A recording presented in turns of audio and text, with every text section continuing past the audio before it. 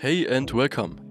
My name is Tim and today I'm going to show you a tool that can save you a lot of time while processing your offers. Let's say you want to assign a discount to a manufacturer's articles. For large projects, this can be very time consuming and quickly lead to errors. You can find the article selector at the bottom left of the screen. A dialog will open with which you can, for example, select the desired manufacturer. With a click on select, all items of the chosen manufacturer are immediately selected in your list. Now you can enter a discount in the article calculation tab, which is assigned to all selected articles.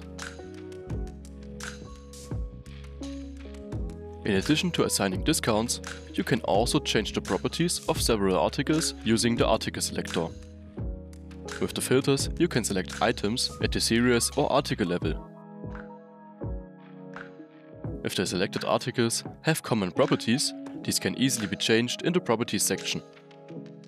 This saves you a lot of manual work.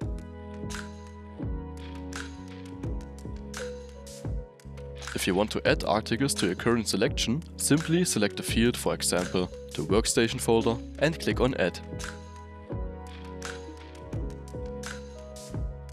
It also works the other way filter out the series, folder or article and click on Remove. With the article selector you can quickly find the right articles in your offer and make changes efficiently. In this video you will learn how to visually enhance your article list with images. Thank you for your attention and see you next time.